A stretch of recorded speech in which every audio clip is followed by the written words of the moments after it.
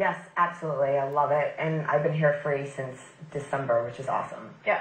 Um, I've been a regular user of Nano since I started working for the company, and it's brilliant. It's better because I couldn't do laser.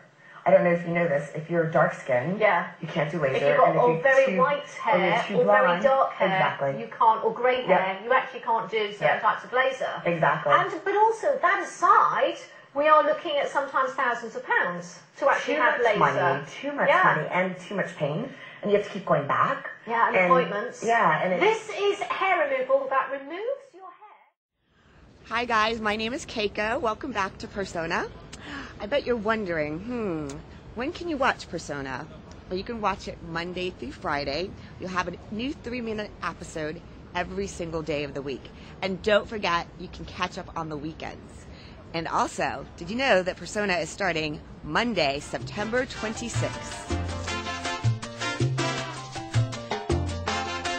Do you like to watch soap operas? Yeah, I do. I like watching Hollyoaks and EastEnders. Stuff like that. How would you feel if I told you that you could get a cool new soap opera delivered to your smartphone and it's only three minutes every single day, Monday through Friday? I think that would be brilliant because it would fit in with my lifestyle really well because it's a bit of a hassle because I'm always everywhere and I can't really sit down to watch.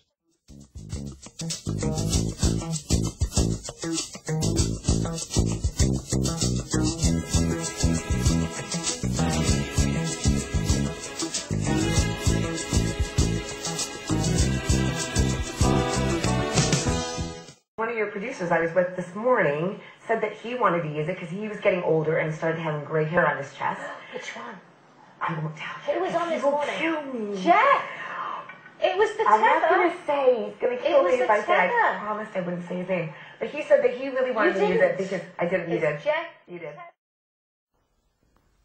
Hey, good looking. You look like the type that likes the finer things in life. I can tell from that expensive suit and Rolex watch.